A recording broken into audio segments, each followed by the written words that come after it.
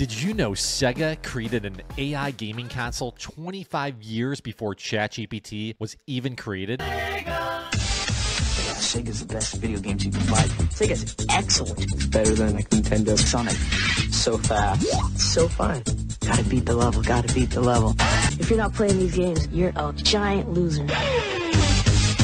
The details of this console were largely hidden, but that all changed once a Sega superfan bought one at auction and revealed the system's details and specs. He even released hundreds and hundreds of images of what this Sega AI system looked like. Now, do you want to see pics of this AI console, discover all its weird and bizarre accessories, and find out why it's considered an artificial intelligence machine? Well, by the end of this video, you'll learn all of that. Plus, you'll find out how you can play on this console right now on your computer for free. The Sega AI computer was released in 1986, which was just three years before the extremely popular Sega Genesis gaming console was unveiled to consumers. It's the same console that made Sonic the Hedgehog a household name, the one that had those goofy and for its time viral TV commercials. Young Bobby Engels has a problem. He needs to earn the respect of his peers. So he gets the special Sega Genesis fighting system. It comes with Streets of Rage 2. He saves $40. He gets more moves. He gets more control. Now things are pretty much okay.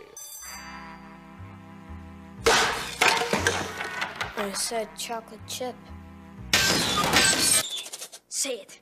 Say it. Sega! Back then, in the early to mid 80s, Sega had strong ties with the educational community within Japan, and there was pressure for Sega to create an educational console. And this was a big change for Sega as their Master System console that was focused on gaming was released just a year prior in 1985. The Master System was built to compete with Nintendo's wildly popular NES console. Back in those days, Super Mario Bros. and Zelda Nintendo games dominated the market. Nintendo was so popular that at one point it had an 83% market share of the entire at home video game market. Sega was desperate to compete with Nintendo, especially in the United States. But Nintendo's NES system was just too popular, and Sega's Master System was kind of a flop. In order for Sega to increase revenues, they were looking for any competitive edge, and the education market was a glaring and obvious choice. Remember, they had strong ties in the education sector within Japan. This is something that Nintendo could not compete with. With that, Sega decided to build their Sega AI computer, a kind of precursor to ChatGPT, you might say. At the time, the Sega AI computer cost around $600 and had tons of quirky elements to it. The first and most glaring one was its large touchpad. It could be customized with swappable overlays depending on the game or application being used. It was very similar to the current day Leapfrog touchpads,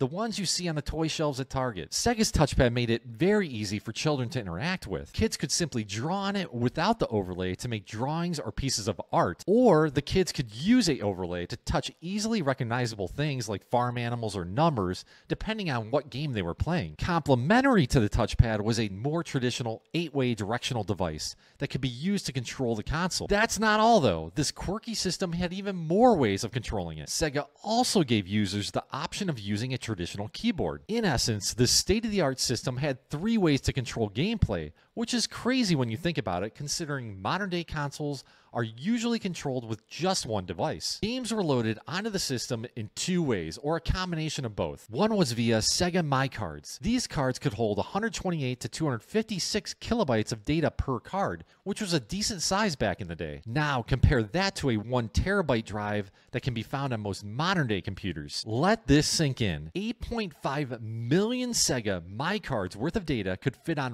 one single one terabyte drive. That's insane. Along with my cards, users could load games via cassette tapes. Yes, those same audio tapes that preceded the compact disc or CD. Now, let's take a second to pause here before we go any further. And let's give credit where credit is due. The only reason why we know all these details about the Sega AI computer is due to a Sega superfan named Omar Cornut. Omar purchased one of these units at an online auction and released all the details of the system. Not only that, but he and others have posted hundreds of pictures of the console and released them online. The link to these can be found in the description below. So, what aspect of this Frankenstein system is actually artificial intelligence? Well, that's Easy. The answer is Prolog. Prolog is a high level computer programming language and is the brains inside the Sega AI computer. All other systems at the time, like the Nintendo NES system, were using assembly to program their system. The assembly programming language is much more straightforward and a low level coding style. If the computer programmer needed Sonic the Hedgehog to jump over a gap within the game,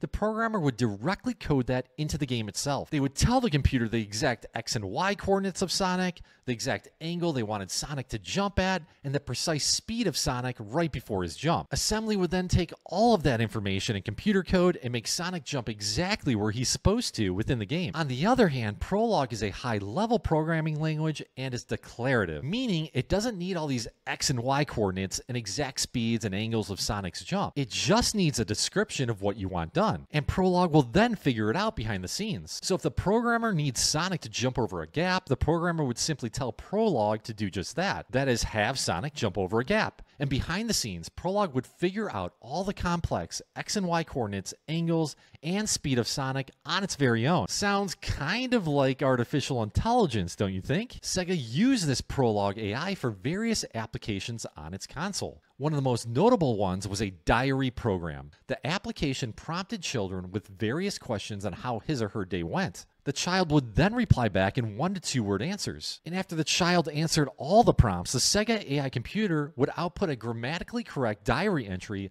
of the child's day. It basically created a well written entry based off the one to two word answers from the child. Sounds a lot like ChatGPT, except this is 25 years earlier. Now, in no way was the Sega AI computer comparable to ChatGPT, but you can see in this example how the basic concepts are the same. The coolest thing about all of this is you can actually test out Sega's AI computer on your computer right now. There's emulators available in the link in the description to do just that. It's just a one click install, and you can test the system out for yourself. Just be aware these games are in Japanese. Even though the Sega AI computer was supposed to launch in the United States and in English, it never did because the system was an overall flop in Japan. But that doesn't take away how cool and cutting edge the system was for its time. Who would have thought Sega made a primitive ChatGPT 25 years before OpenAI did? That's it for tonight. If you want to learn more cool things about AI, like Apple's AI car, check out this video right here. And if you found this video interesting, please subscribe to this YouTube channel and my free AI email newsletter at fry-ai.com forward slash subscribe. Have a great night. This is Ryan signing out. Take care.